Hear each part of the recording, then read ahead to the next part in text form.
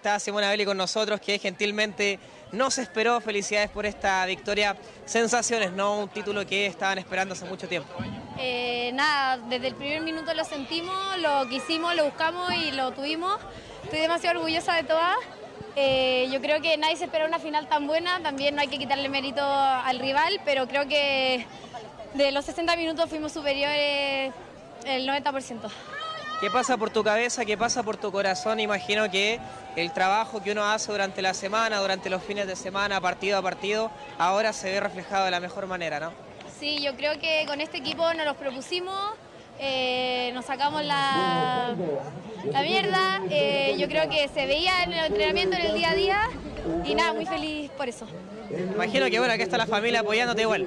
Sí, ahí está mi papá, todo mi país. Estoy demasiado feliz, gracias. O sea, yo creo que el apoyo de la familia es incondicional.